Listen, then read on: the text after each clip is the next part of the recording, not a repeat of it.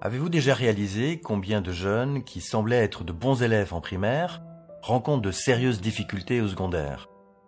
Ces élèves comprenaient tout ce qu'on leur expliquait, et tout d'un coup, ils ont des problèmes de compréhension. Bizarre. Cela nous renvoie aux objectifs du primaire et du secondaire. En primaire, c'est facile, chaque jeune doit apprendre à lire, à écrire et à calculer. Mais au secondaire, ça semble moins clair. En fait, au secondaire, un jeune doit apprendre à argumenter. En français, c'est développer la capacité à rédiger une dissertation. En mathématiques, faire une démonstration.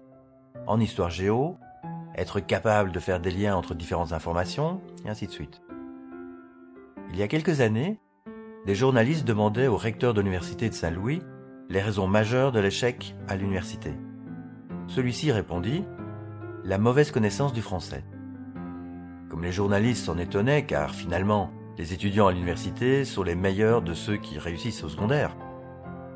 Il a précisé qu'il suffisait de mettre une double négation dans une question pour que la moitié des étudiants soient en échec. Cela correspond pour nous, en pédagogie PNL, au troisième type de problème de compréhension, c'est-à-dire la difficulté à comprendre des phrases complexes contenant plusieurs propositions. Celles-ci sont reliées par des mots logiques, des connecteurs, qui permettent de rendre compte des liens entre ces propositions. Ces petits mots comme pourtant, puisque, hormis, presque, aucun, aussi, sont indispensables pour construire toute argumentation. Sans réelle compréhension de ceci, pas de véritable compréhension de l'argumentation. À Interactif, nous avons travaillé tous ces petits mots.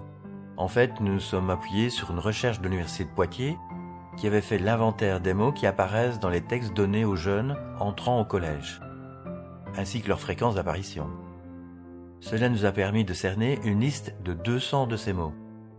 Nous les avons catégorisés, puis nous avons trouvé des manières de les représenter. L'objectif pédagogique ici est donc que chaque jeune, sortant du primaire, soit à l'aise avec la compréhension de ces 200 mots pour que chaque argumentation proposée par les enseignants qu'il va rencontrer soit facile à suivre. Prenons l'exemple de la négation, dont parlait le recteur de l'université. On entend souvent qu'une double négation équivaut à une affirmation. En êtes-vous sûr? Est-ce vraiment aussi simple? Prenons d'abord une phrase à l'affirmative.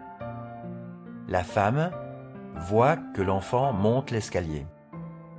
Faites l'effort de visualiser le sens de cette phrase. Cela devrait ressembler à quelque chose de proche de ce schéma. La femme voit que l'enfant monte l'escalier.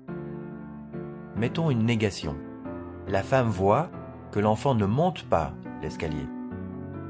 Quand vous cherchez à visualiser, vous allez barrer un élément sur le dessin en ajoutant sur votre schéma une croix. Oui, mais où? Essayons avec les phrases suivantes.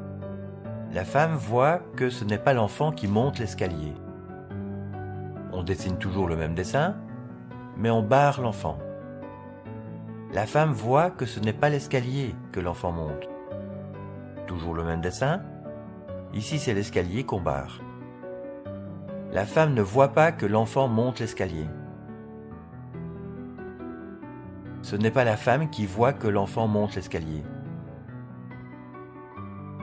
Il est faux que la femme voit que l'enfant monte l'escalier. Voici donc six négations simples, différentes. La croix pour barrer se déplace simplement sur le dessin. Le piège ici serait de faire des inférences c'est-à-dire de tirer des conclusions et de ne pas dessiner le même dessin avec une croix qui se déplace, mais chaque fois de faire un dessin différent sans croix. Car à nos yeux, ce n'est plus de la compréhension de phrase, mais de la réflexion sur la phrase. La distinction qu'on fait en PNL entre compréhension et réflexion réside pour la compréhension de ne comprendre que ce qui a été dit ou écrit par l'auteur, pas plus, pas moins. Alors que pour la réflexion, nous y voyons le fait de tirer des conclusions et des liens, après avoir compris pour aller plus loin que ce que l'auteur a précisément écrit ou suggéré. Prenons maintenant toujours la même phrase, mais cette fois avec une double négation. la femme ne voit pas que l'enfant ne monte pas l'escalier. Toujours le même dessin, il y a deux négations, donc deux croix, mais pas au même endroit.